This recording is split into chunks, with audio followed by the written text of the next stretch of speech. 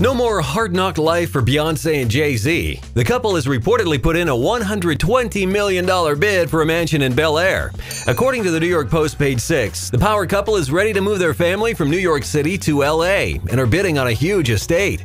The newly remodeled home is a stunner with eight bedrooms, four pools, 11 bathrooms, a media room, room for a recording studio, 15 car garage, and a built in spa, all in 30,000 square feet.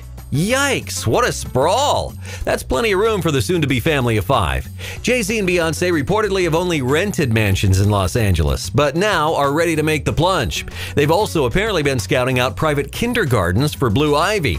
Needless to say, Beyonce's twins will have quite the nursery in sunny Los Angeles.